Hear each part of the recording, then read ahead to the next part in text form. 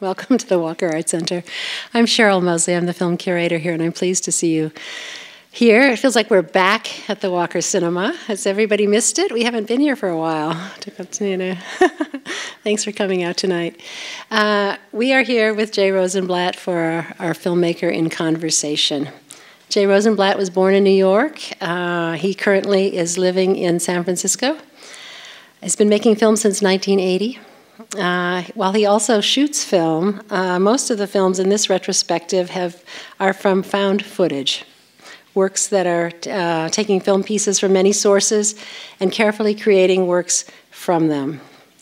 Uh, so we're pleased to have him join in our annual Filmmaker in Conversation series.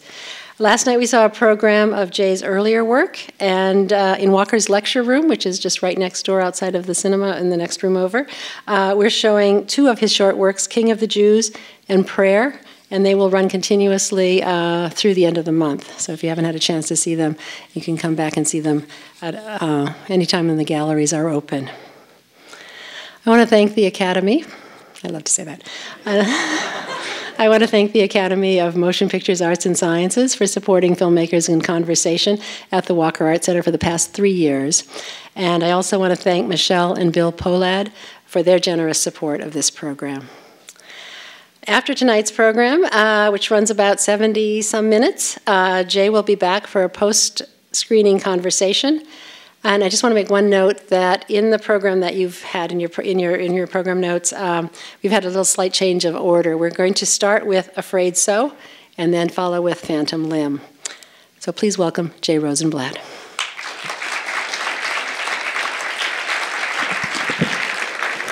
Thank you, thank you.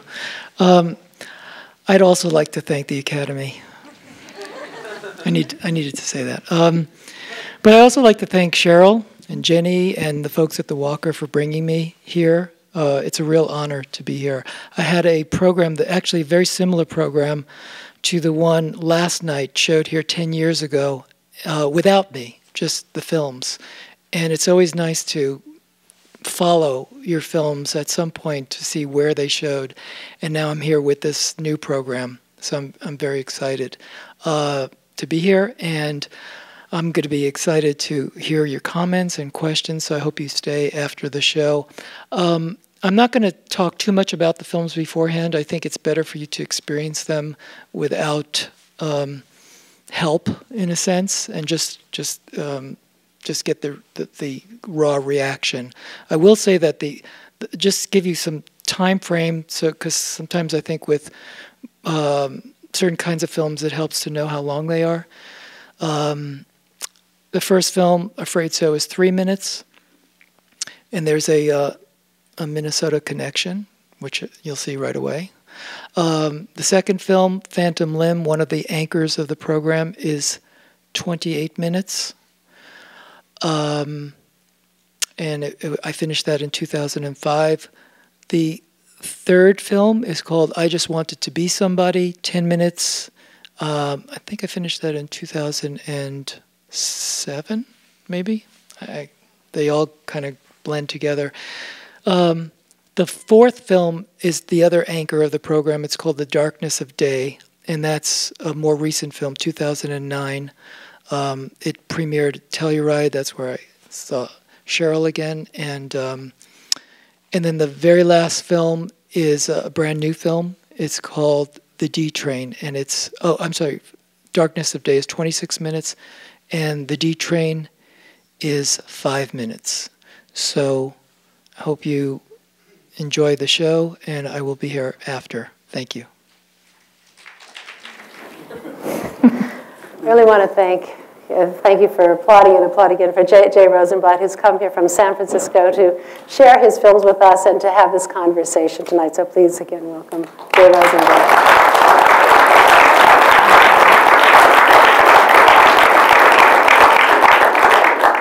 Thank you. I always feel like you need a little breath after some of those films. But um, I'm going to start the conversation, and then we're going to open it up to the audience in just a few minutes. But I just wanted to say that what we have just watched is a program of these five short films.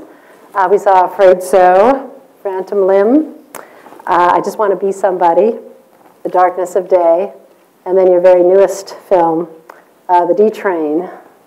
So I thought we would start with The D Train uh, because it's so full of life, you know, in some way. Even though it's an older man, a, a, man riding the train, seeing his life pass by. Maybe would you mind just start starting by talking a little bit about making that film? Uh, sure. Um, well, yeah, it's it's kind of ironic because it's it's so full of life, but it's about his death, really. Mm-hmm. Um, I I can't that that film was on the back burner for a, a while. I um, came across it, it, went through several permutations, but when I finally came across the footage of the old man, I realized I had a structure for the footage I had been collecting, and um, it, it came together once I found that, uh, it came together pretty quickly for me because uh, some of the films you saw were uh, took like three hours, uh, three three hours. I wish three year three years. Uh, the, the, two long films took uh, three years. actually, Darkness of Day took even longer. Um, so this one, in in a matter of like two or three months, I had pretty much finished it, and um, I had two versions. I had one version with um, some a, a, different soundtrack, actually some Arvo Pärt music, which you uh, hear a lot in Phantom Limb. And then I had this uh, version with uh, Shostakovich. And I played it for a few people, and, and unanimously everyone said the Shostakovich, because it was, uh, it was much more uh, buoyant and, and just had a, a, a, it, was, it was a nice juxtaposition to the material, whereas the Arvo Pärt was more underscoring the gravity of, of mortality. Um, and it, it, was the right decision. So that's kind of how that all came together. And, and then I had this, uh, this week of, of this program pretty much at MoMA in New York, and um, that was a motivator to get it done. I wanted to kind of sneak preview it there mm-hmm. and uh, just to do something extra for that show. And um, I'm, I'm originally from New York, from Brooklyn, and the D train was the train that I, I took in. It actually the original title was different for this film, and when I happened upon the D Train, then, then it was done. It was like, yes, it, of course, it has to be called the D Train. Um, for, for many reasons. You can imagine the significance of the letter D and, and the themes of the film. So, yeah. Mm -hmm. Well, uh, this might be your dark uh, series of films in some way, seeing them here tonight and seeing them back to back. Um, if we just even go back in, in, in time with the one right before that, The Darkness of Day, mm -hmm. which is an amazing film that looks at suicide, and that you're not unwilling, of course, to take on these kind of uh, very deep um, um, ideas of, of life and death, mm -hmm. as you have throughout this whole sort of series, series tonight. But I was always intrigued with this film at the beginning when it says that all of these films were the, that you've taken them from were pieces that were you know thrown away, saved from the dump from uh, schools and sort of educational films. And so every time I see this film, I always look at it and thinking about what were what were those films about? You know, to have to have this so much about suicide and what were they what were they teaching in schools and, and where did where did they all come from? But uh, I don't know. I, I, know. So there's two parts to that, really, about yeah. finding that material to support the idea that sure. you set up about suicide, but then also the making of that film as well? Um, you know, interestingly enough, a lot of the images uh, are from films that had nothing to do with suicide. It's just the context I put it in makes it seem mm-hmm. that way. Um, obviously, there's some shots that are clearly about that, but many of them just kind of allude to that because the stories are so much about that, uh, that uh, in voiceover. Um, you know, like the dolphin story, for mm -hmm. instance, or um, even the Hemingway doesn't talk at all about his suicide. It's a, it's a, it's, it's a educational documentary about Hemingway's life, but it really doesn't get into how he killed himself. Uh, certainly not during the bullfight scenes. Mm -hmm. um, one, there was one film in particular uh, called, I think it was called A Cry for Help, and that was, uh, you see several of the shots in the film that are specifically about suicide come from that film, because that, that film actually used people that had attempted suicide to reenact some of the scenes that they went through. And that was made for a mental health uh, division, uh, Missouri Mental Health. So it was a public domain film, actually made by George Stoney, who's a pretty mm -hmm. famous documentarian. and he did it as a gun for hire for uh, I think it was the Missouri uh, Department of Mental Health. And I called him, and, and he actually, you know, sent me the print and said, you know, I could use it. Um, so that film was probably the, the, those images, like the woman slitting her wrists, and um, the uh, woman getting the tube up her nose. That was from that film, and also the gut. When you, when you see guns uh, pointing at people, or the guy sitting in the bed, that was from that film. Um, and then there's a one other direct suicide image of the uh, the man on the ledge, and that was from an old newsreel. That was, I guess, a famous moment in the, I think in the 30s or 40s. So was there another part to that, that question? I don't know, but I think maybe we should just go through the whole program Yeah, a little yeah, bit, and then we can come back because the one before that was about Anita Bryant, and even though that felt very, very dated in a way because of the time in the 1980s, and you see Reagan and you see all of that's going on, that all going on, but somehow it comes full circle to today and feels a little uh, uh, timely again. Uh, what you know, with what happened with uh, David Wojnarowicz's film *A Fire in My Belly*, which was pulled from the a National Portrait Gallery show in December, and other things that are happening, uh, you know, in, in our you know discourse today. Yeah.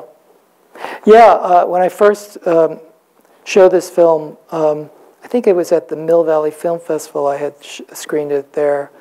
Um, and it was when Sarah Palin was coming to prominence. And it just felt like we're seeing this all over again with this kind of uh, uh, fundamentalist, ignorant energy out there.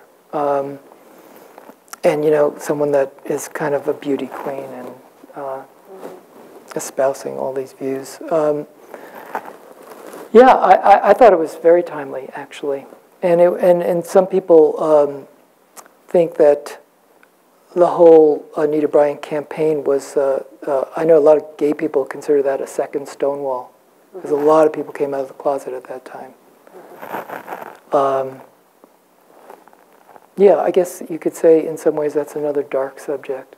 Uh-huh. I, I think they're all kind of dark. Yeah. they go all the little, way little, through. little smatterings of humor here and there. I think there's enough, yeah, enough to, to bring them to bring them up. But Phantom Limb, of course, is a very, very personal story. I mean, you really did lose your brother, and so you tell that in quite a touching uh, way, going through the, I think it was 10 steps. of- 12. 12 steps, thank you, uh, of what, what your process was, or what a process is about losing a family member. Yeah, uh, I mean, that film, even seeing it now, and I've seen it many times, and I've lived it, um, it still affects me. Um, so that, that's a good sign for me. Um, that was a very difficult film to, to make. It took me about 20 years to begin that film. Um, I knew I had that film in me because I had that experience in me. And at one point, I thought I'd uh, write a narrative script about a family coming to grips with losing a child. But um, when, when I was ready to have a child myself, um, I, I was ready to make that film. And it, they went hand in hand, really. And when I was ready to make that film, I was ready to have a child. Um, so that was a that was quite a journey, the whole experience from from uh, going through it, obviously, to and, and it's in the film. I don't have to repeat it, but to finally uh, turning it into something uh, creative was a, a big part of the healing process. And I really wanted to hopefully make a, a film that could be healing for other people that have been through some kind of loss. Um, and it certainly was healing for my family. Um, I, I, was, I was nervous to show it to my parents.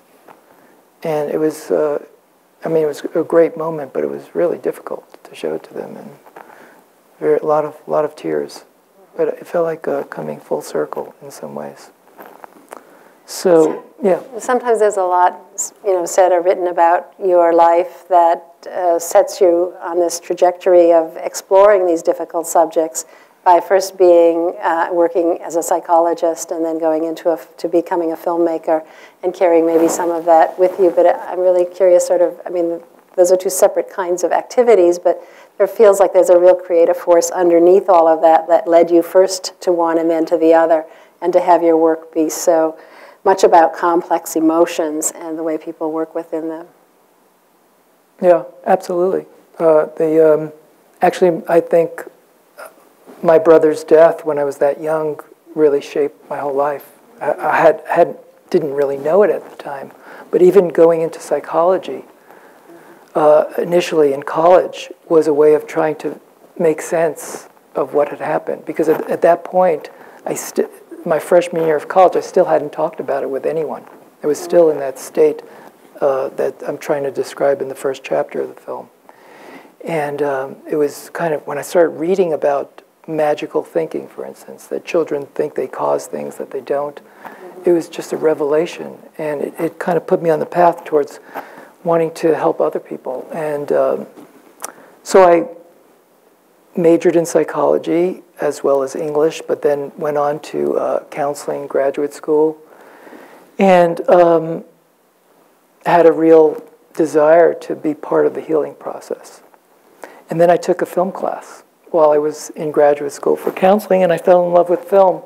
And um, that kind of shifted me in another direction. But I, I, in looking back, I always feel like the motivation is still there. Uh, it's just a different way of expressing it. So instead of a one, to one or even in a group of uh, seeing someone week after week, maybe year after year, uh, I'm trying to in, in, some of the films, not all of them, certainly some of these, uh, creating uh, an environment or, or, a situation where people can think about themselves and maybe open up some wounds. Uh, I once had this, uh, I, I, showed a film in uh, Switzerland at a festival called Locarno Film Festival, and I was hanging out at a cafe and met this British woman and she wasn't there for the festival. She said, Why are you here? And I, I, explained that I had this film and I talked about this film. This was a film that showed last night. And she said, Oh, I see, you're, um, you're opening up wounds to let the poisons out. She was a nurse. And I just thought that was such a good way of phrasing it. And I really, I, I feel like there's some truth to that, uh, especially with these films. So if you weren't here last night, to know that, you know, Jay has made many, many films, and these are, of course, you just saw five of them tonight, and we showed five other ones last night. Uh, and most of the ones that we've been showing are these that have been constructed out of found footage and, and telling a story in a new way. And of course, you also shoot films as well, and uh, you know have other kinds of films. But I thought we thought that this sort of grouping would, would come together, making these about constructive films. Is there a way you talk about these films? Is it? You know? Uh, you know, it, varies, but I, I, I, think of them as kind of collage essay films. Certainly would like to see if there are people who are interested in joining this conversation. Uh, there's uh, ushers in both aisles that have microphones, and if you do want to ask a question, just let them know. And if you wouldn't mind standing when, when you ask your question so that we can see, see sort of who is, who is asking it, and we'll, we'll open it up to, to go ahead. Go ahead, thank you. Um, I, I'm curious that your parents um, did make home movies, and I'm always very jealous of filmmaker friends whose parents made movies of them. Yeah. And I, but I also can see that footage you used as a source of a lot of pain, maybe for them and you too. But first of all, did they do a lot of footage of you, and did they continue after your brother's death? Uh, very little after he died. I mean, there's, I think my sisters resent that because they don't have a lot from their childhood. But my dad had a, a regular eight camera and projector and he, not, not a whole lot. I would say maybe 10, 15 rolls of film that, he, that I have now. But I'm so grateful that he did do that. And I made it a real, a real conscious effort to, to do that for my daughter. Um, but yeah, it's, it's really a, a treasure to have. And um, I think it, with Phantom Limb to start it, start it off with the actual home movies really really helps a lot with that film. Right, and did I see um, some other images of your brother in some of the other films? Or was it just... No, not at all. No? Just, just okay. the opening, the color footage. Yeah. Yeah, I mean, I, I'm glad you felt that way because I try to, I try to make these films cohesive, even though the sources are from many, many, many different films. I, I, I like when it feels like a whole and when people feel like that's maybe the same character.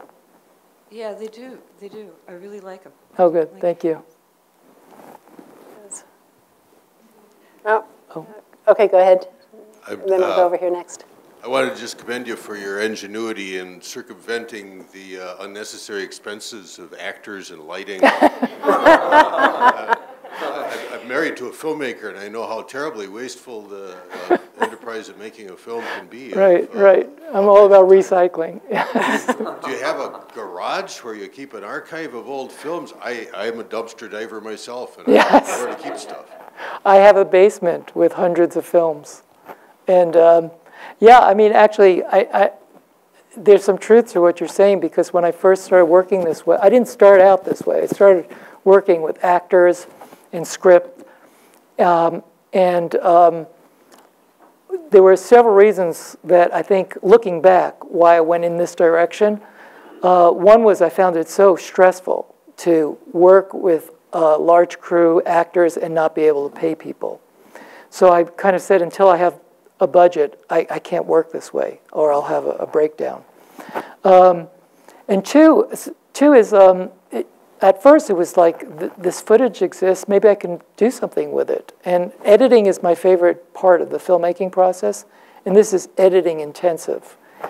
And so some of it was also budget, just not having the funds to, to do other things. Um unfortunately, a, a lot, depending on what footage you use, it can turn into a very expensive, believe it or not, if, if other people have the rights to the footage. Can cost more than if you had shot something. But it wasn't, uh, uh, also, part of it was some of these ideas seemed to really speak to the kind of footage I was using. Um, so uh, to recreate it would have felt a little false to me, even though I could have re redone some of these scenes live action. And in Phantom Limb, I did shoot some of the footage that you saw, like the sheep shearing I shot, and uh, and the interviews.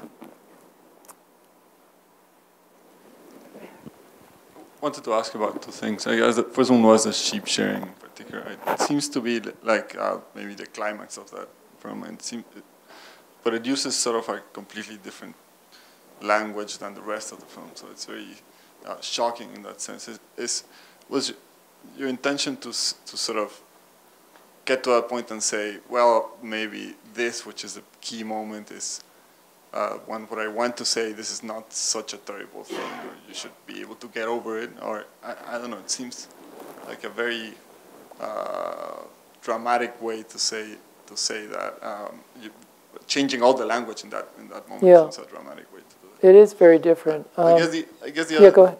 Well, maybe it's a different. Um, when I first had the idea to make this film, and I was first writing some grant proposals, I always had uh, a sheep shearing scene in the proposal. So it was in the idea from the very beginning, and, and a slow motion sheep shearing scene. Um, and I, I had a friend, a filmmaker friend, that had gotten a camera, um, found a camera that was used in uh, scientific experiments, and you could actually shoot 500 frames a second, 16 millimeter. So I had the means to do that. Uh, it turned out, uh, this is a little aside, uh, I'll digress for a second. When I got the footage back, it was too slow. um, it was 10 minutes, the sheep shearing scene, and I knew the length, I knew approximately the length of my whole film, and it would have thrown the rhythm of the film way off. I couldn't have a chapter that was that long in, in this film. So I actually had to speed up what I had spent so much time slowing down. Um, but still, it's very slow. So you could, but the original footage was amazing. You could actually see the blades moving of the shear. Um, what I didn't know was how I was going to use it. I just knew it was going to be in the film. I had no idea what the sound would be, where it would end up in the film. Um, so that was a, a process of experimentation. Um, I tried lots of different music. Um, and then I found this book that um, was all about advice for grieving parents. I took about eight of those uh, pieces of, there was like a hundred. A lot of them were, I thought, kind of inane, but there were about eight or nine that were really good, and then I wrote a few.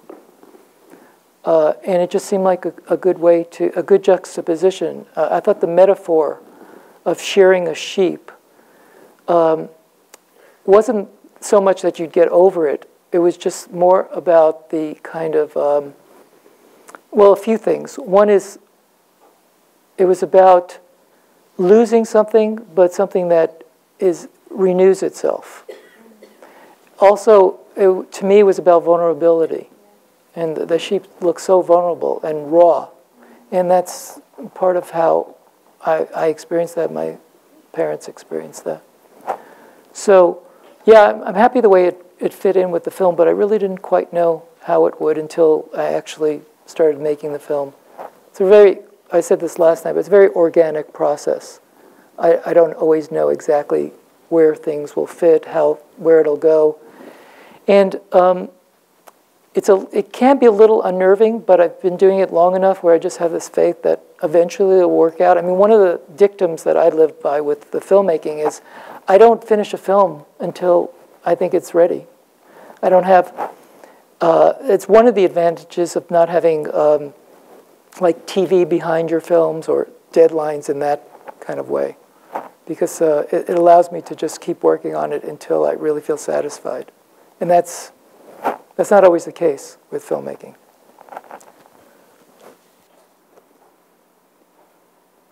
There's a question here and a question there.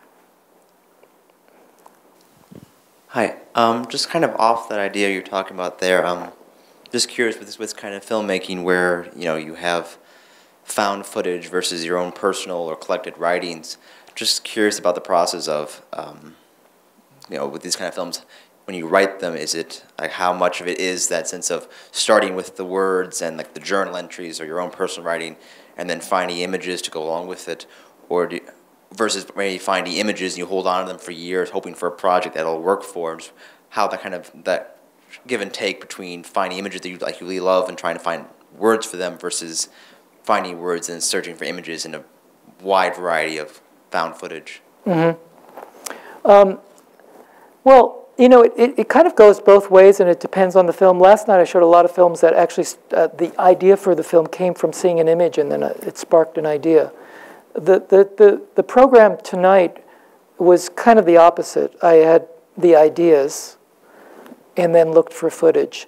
Or I had the footage already, but I didn't know how I was going to use it. I just knew that I was drawn to some images unconsciously. So I collect a lot of images, not always knowing how they'll be used uh, with Afraid So, I heard this poem by uh, this woman, uh, Jean, Jeannie uh, Beaumont, on, on the radio. Uh, it was Garrison Keillor's uh, Writer's Almanac. And I, I, I never had this fe feeling, but I heard it and I thought, I, this would make a good short film. I didn't even know who, I, I, so I did a little sleuthing on the internet and found her and got permission, basically, after talking to her for a while and sending her my earlier work. So that, that started with the written word. Um, Phantom Limb started with the emotions and the idea and the experiences, the memories, and I started writing, but it was a back and forth thing, collecting footage, writing some more. Um, the interviews carried some of it, so that was a different way of working. In uh, Darkness of Day, I actually work with a co-writer. I collected a lot of, um, I collected all the stories. And then I told him, I, I just, I met, the, uh, he's a friend of a friend, and we were at a party together. He said, what are you working on? I told him about the film. And he said, I don't know if you're aware of this, but my, my brother killed himself. And I said, no, I didn't know that at all. And I, and I, I knew he was a writer, and I said, Would you be interested in working together, maybe? And he thought that would be a good idea. And then he gave me the journals his brother wrote, or excerpts from the journals. And I thought it was amazing, his brother's writing, very uh, almost uh, 19th century style writing. So uh, that gave me the idea to weave the journal writing and the stories together, and he helped me uh, rewrite some of the stories. So that I had a script for that, and then I was uh, working with finding the right images to go with a lot of the part, parts of the script. But even even so, there's still a lot of shifting around, and one line might not work so well with a certain image, and then you move it, and then it's perfect. So that's that's kind of how those came about. Where um, I just wanted to be somebody. Uh, just to talk about that for a second is. Um, I had thought I was going to make a much longer film about Anita Bryant. I had, uh, through, without getting to this whole story, but I had access to her home movies, which is kind of rare and amazing to have access to, uh, you know, some public figures' home movies.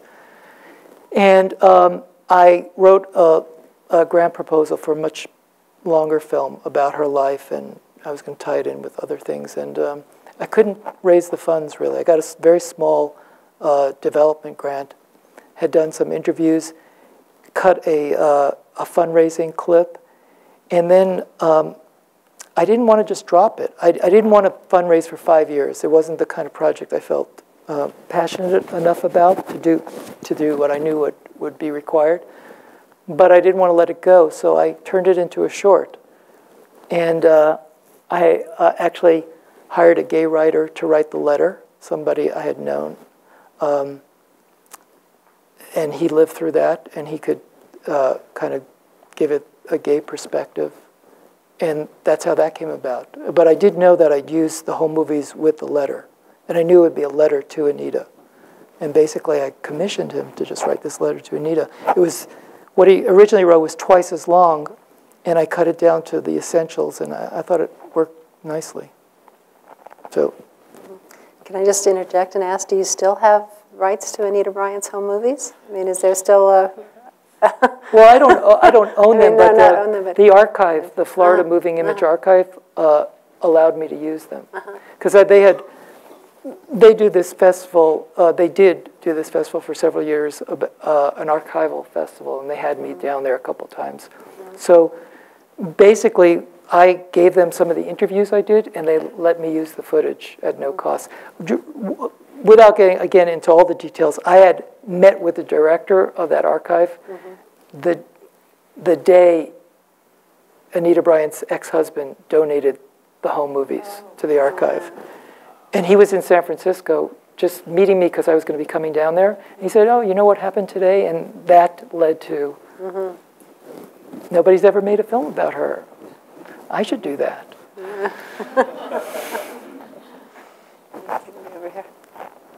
Thank you. Uh, okay. Yeah. Uh, my question, um, part of the question has actually been asked by the previous um, person. Uh, but my question is, and I kind of want to focus on process a little more, mm -hmm. um, especially process of collecting. Um, do you collect systematically, say collect based on themes, or do you just collect whatever is available? If you, do you go to a college, for instance, and say, hey, here I am again, can I have your trim bin? or do you say, do you have films about this particular subject that I can, yeah. Yeah, um, it's kind of uh, been both. Uh, I, like in the um, um, Sheryl was talking about the opening credit of um, The Darkness of Day. I was just in the right place at the right time in the 80s, late 80s, uh, early 90s, where school districts were just throwing out uh, all their 16 millimeter prints because they were all going to video instead. And uh, the San Francisco Unified School District called, myself, called me and some other filmmakers and said, we're throwing these out. If you want them, come this day. So we were like kids in a candy store, just taking film after film, but just by title. So I was taking films that just, I thought the title interested me. I had no idea what some of them were about. Some of them I did know what they were about, and I just, I, am interested in history, and so I took a lot of World War II films. Um, and then the same thing happened with the San Mateo School District, and I was teaching at a community college at the time. They called the film department and said, we have, we're throwing out these films do you want it for your students? So again, like thousands of films were dumped in this uh, open um, building at the school. And for a year, I just put together an archive for the students to make found footage films and also took films for myself. That the title sounded interesting. And then uh, each summer when I wasn't teaching, I would spend hours each day just looking through the films, cutting out just, uh, I kind of went into, a, uh, in, in a way, an altered state and just would go through them very quickly on rewinds, not even project them, just go very quickly. I'd see something that caught my eye or unconsciously interested me, and I would just cut it out. And then uh, kind of create my own reels of images that some, for some, I didn't always know why, but interested me. And then I'll have an idea for film and look through some of that footage I've collected, try to place it in certain uh, scenes, uh, segments, and then I will go to other archives looking for images that deal specifically with the subject matter. So it's a, and then I kind of fill in the holes. With something like the last film, The D Train, that was all from my own, bless you, that was all from my own archive. And uh, I didn't have to go elsewhere.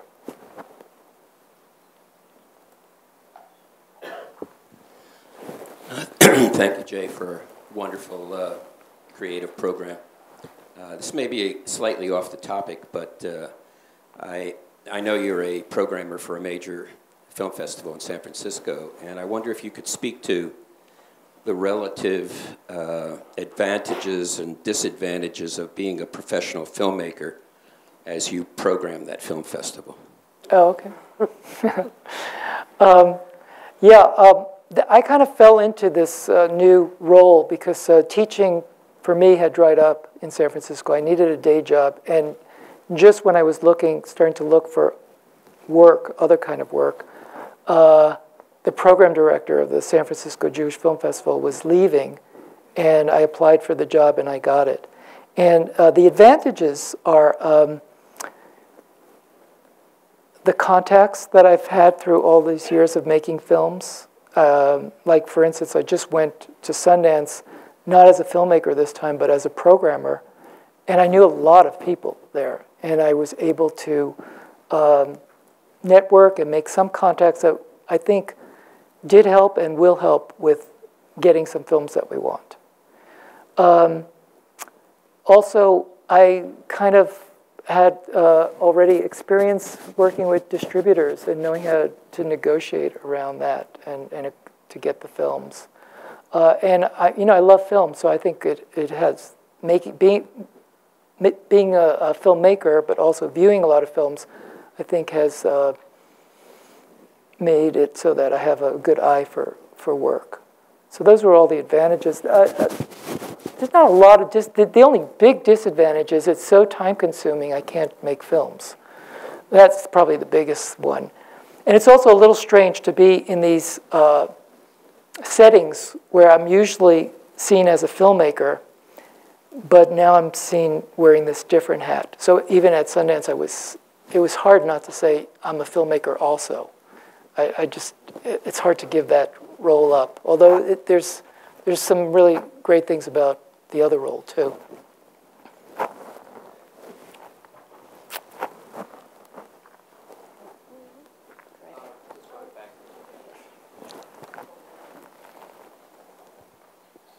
going back to the previous question the gentleman just asked, um, how do you remember these things? Do you, do you have this uh, tremendous index, indexing system or some sort, or do you just remember all the images in your head that you've collected over the years? Or Oh, no, not at all. I mean, uh, I can't tell you how many times for each film, and sometimes several times for each film, that I just look at everything again.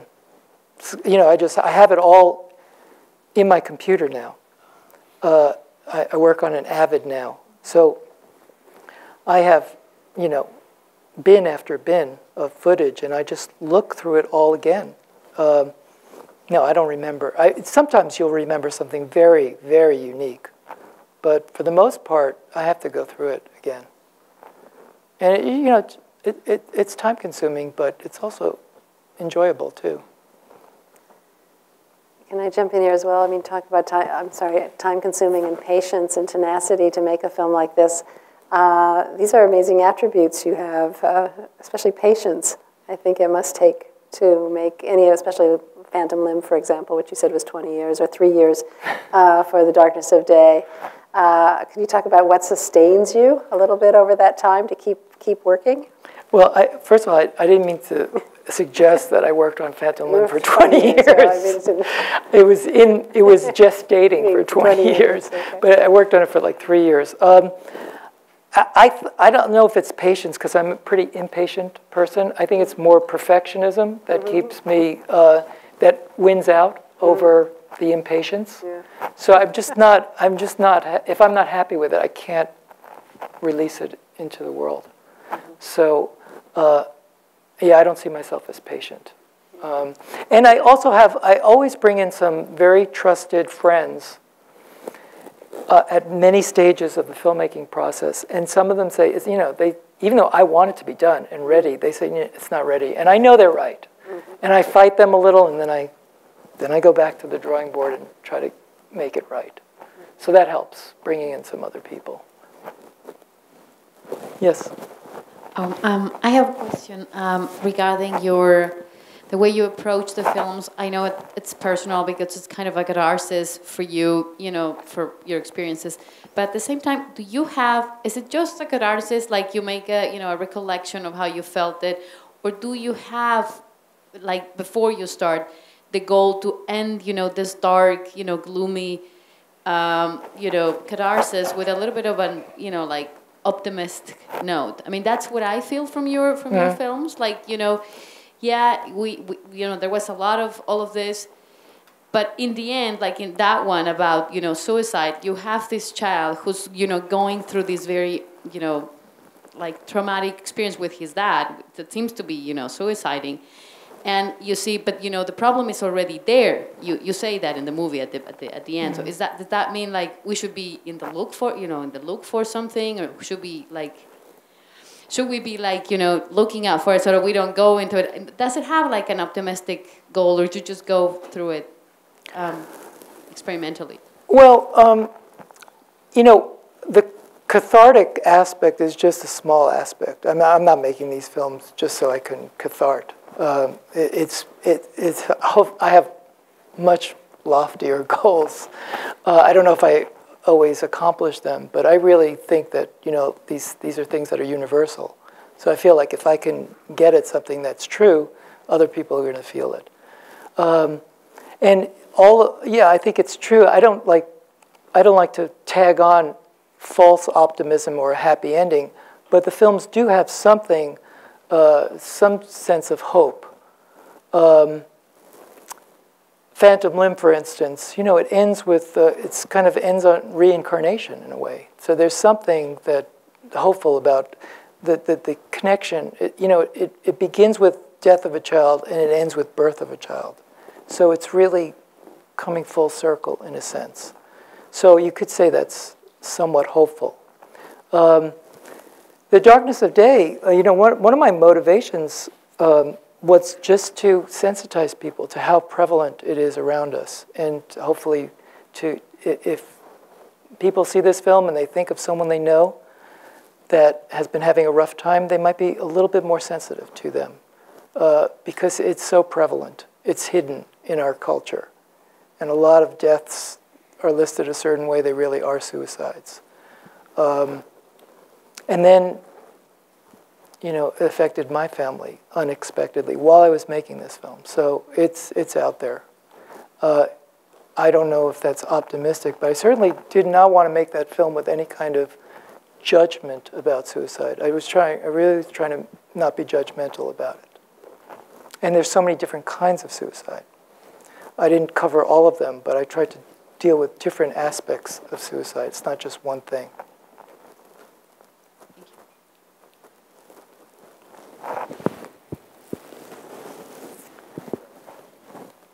Yeah, I have a question about the, um, uh, the copyright issues. How do you deal with those? Uh, you mentioned uh, some places where uh, they were transferring the old 16 millimeters to video or, or they were digitizing them. But the materials are still copyrighted, right? Or how, uh, you know, how do you know whether they're public domain or Right. Right. Yeah, that's a good question. Um, I, when I, when I, I, I work differently than most filmmakers, okay? Uh, most documentary filmmakers, at least, um, clear all the rights before they have the film out there, um, before they finish the film. Uh, I try to just make the film, not worrying about that, and then I worry about it after. Um, and it's not the best way to work. but I, I don't want something like that to get in the way of the creative process and to just stop the momentum. So I, I just have always believed that I'll find a way to get the rights, if it's a rights problem, after the fact. And I, so far I've been kind of lucky. Most, but that said, most of the footage is public domain. I usually, what I do is I find, I, I, I'm, now I'm much more careful about the sources, where they come from. I do a copyright search with the Library of Congress to see about those films. If, uh, that, if a particular film still has a copyright owner, or not still, but just has a copyright owner, some of them never were copyrighted, I then try to get the rights. Um, so uh, I've been, like I said, pretty fortunate that most of it's public domain, but sometimes it's not. And there's like one 12 second shot in Phantom Limb that cost thousands of dollars uh, just for 12 seconds. And they were giving me a great deal, they said. Um, for The Darkness of the Day, I took a different tact. Uh, I was, I, there were a lot of films that I was using. Some of them had copyrights on them, and I decided to hire a lawyer and argue fair use, which is a legal thing. So for that film, I got a letter that says it's, it's fair use. Because one of the tenets of fair use is that it's transformative. What you're doing with the imagery is transformative, and it's clearly transformative the way I'm using the images. And I'm also not taking away from the original value of those images. But there are some films that I've made that actually um, I just don't, um, I show under the radar. I don't show it on television. I make no money on them. I just make them because I want to make them. Uh, these films, uh, I've had to get clear because some of them have shown on HBO. Uh, Darkness of Day is going to be on HBO in a couple months. So I had to clear everything, but the fair use letter took care of that. Sure. Music's another issue, though. Music is really difficult and costs a lot of money.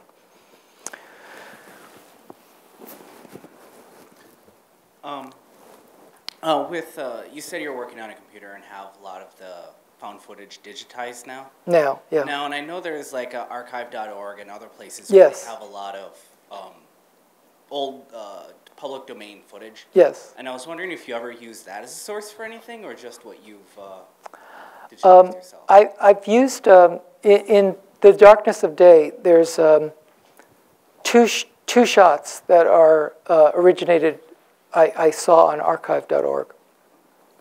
There's a the shot of the man at the end getting up from a typewriter. Um, and then there's a, one of the shots, a Japanese piece of Japanese footage. I, uh, it's a great resource.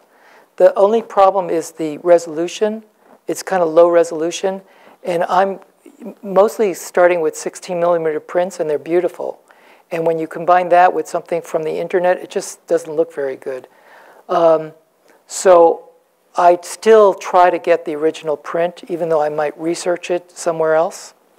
And the Japanese footage, I was able to get the print and then transfer it myself, do, um, do a telecine.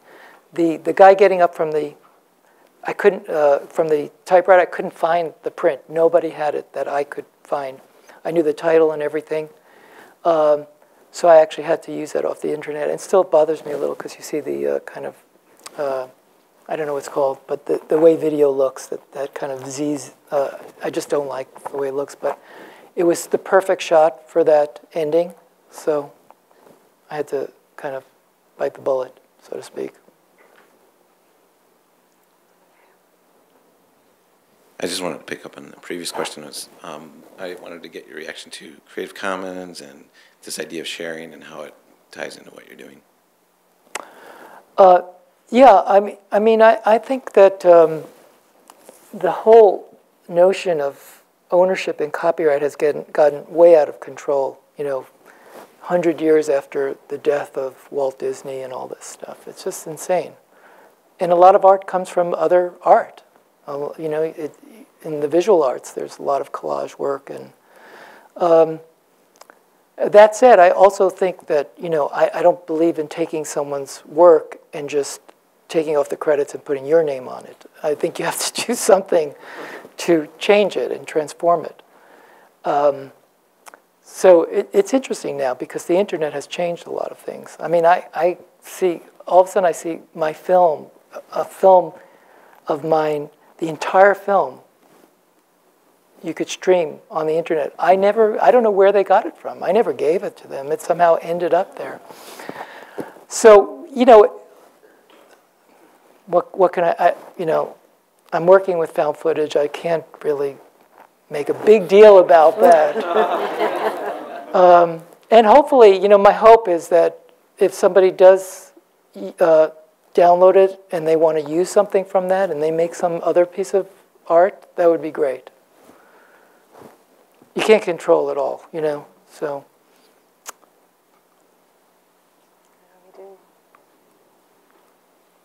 Take a few more questions. What? I'm, I'm fine. I'm fascinated by your use of black and white, and then it seems like you choose just a few colors in your work. Mhm. I, I don't know whether that's true or not, but that was my perception. And um, the black and white to me seems like it's from the past, you know, recollections from the past. Is Mhm. that the way you chose to do it, or? Um, you know, it's partially that. Partially, it, it's part of uh, kind of my childhood in a way. Um, sometimes I will take something that is color and turn it into black and white uh, to give the film more cohesion. Uh, sometimes I won't because it, it, doesn't bother me in certain cases. But, uh, and, and then a lot of footage from like the 70s and late 60s, the color turned to red. And you'll see that occasionally in some of my images, like the Golden Gate Bridge scene is kind of red. In that scene, it didn't bother me. I thought it kind of worked with the fog and with the story. But sometimes it just looks, it doesn't look great, and I just turn to black and white, and then it's not an issue anymore. So it's, I, I, I don't, I, I, I treat it seriously, and I don't just stick things in that are color haphazardly. I, I just kind of decide on a case-by-case basis. But I think the black and white footage does, um, at least for me, go into the recesses of my uh, past and kind of unconscious.